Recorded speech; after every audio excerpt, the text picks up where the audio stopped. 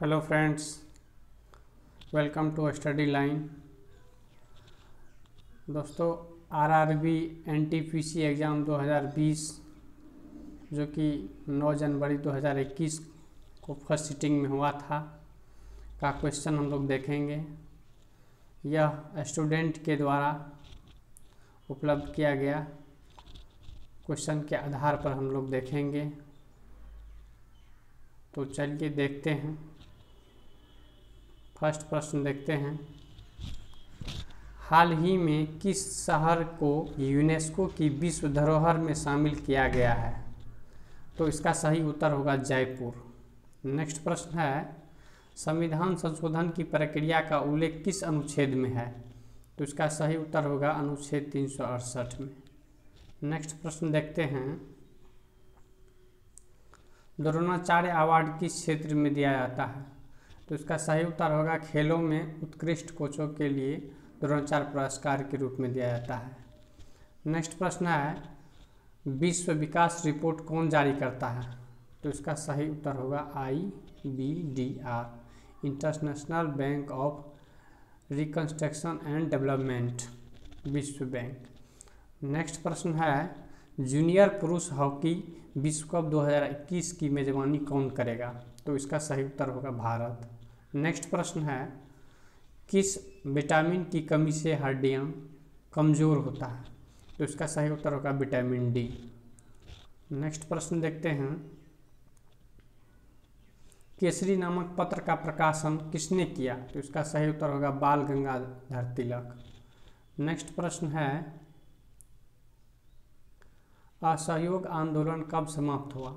तो इसका सही उत्तर होगा 12 फरवरी 1922 नेक्स्ट प्रश्न है, धनसिरी की सहायक नदी है। तो इसका सही उत्तर होगा ब्रह्मपुत्र। नेक्स्ट प्रश्न है, मोहनजोदड़ो किस नदी के किनारे बसा हुआ था?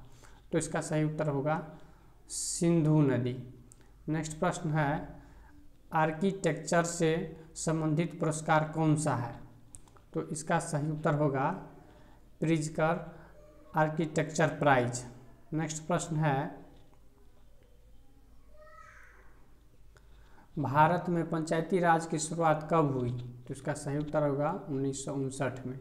नेक्स्ट प्रश्न है, किडनी का अध्ययन किस शाखा में किया जाता है? तो इसका सही उत्तर होगा नेफ्रोलॉजी नेक्स्ट प्रश्न है, प्रतिष्ठित डैन डेविस पुरस्कार 2020 किस भारतीय ने जीता? तो इसका सही उत्तर होगा गीता सेन।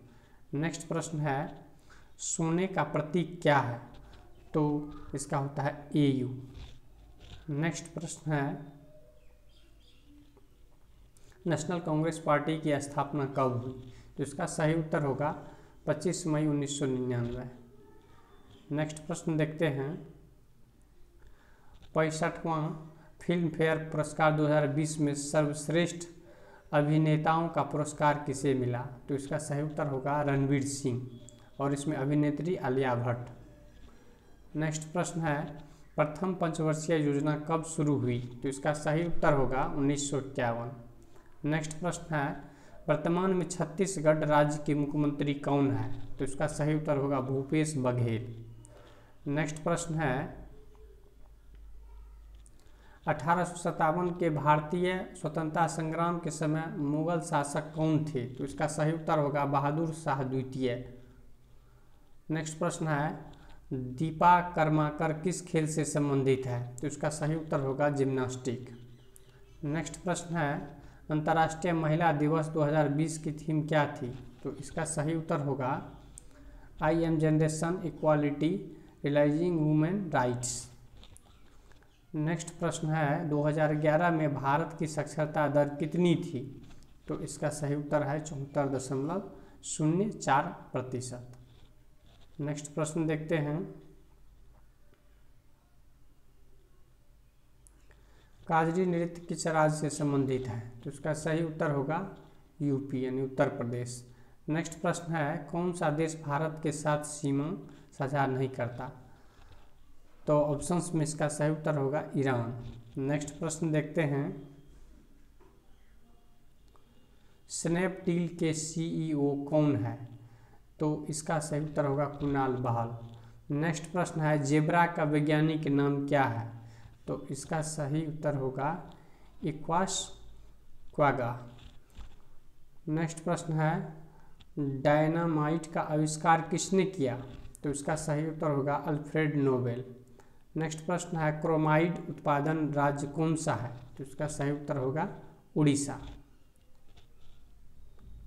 नेक्स्ट प्रश्न देखते हैं। फ्लोटिंग नेशनल पार्क कहाँ पर है? तो इसका सही उत्तर होगा मणिपुर। लास्ट प्रश्न है, अध्यादेश कौन जारी करता है? तो इसका सही उत्तर होगा राष्ट्रपति। दोस्तों, यह वीडियो आपको ज़रा सा भी हेल्पफुल लगा है तो निश्चित रूप से चैनल को सब्सक्राइब कर लीजिए और वीडियो को लाइक कीजिए तथा अपने दोस्तों में भी शेयर कीजिए। मिलते हैं नेक्स्ट वीडियो पर। तब तक के लिए जय हिंद, जय भारत। धन्यवाद।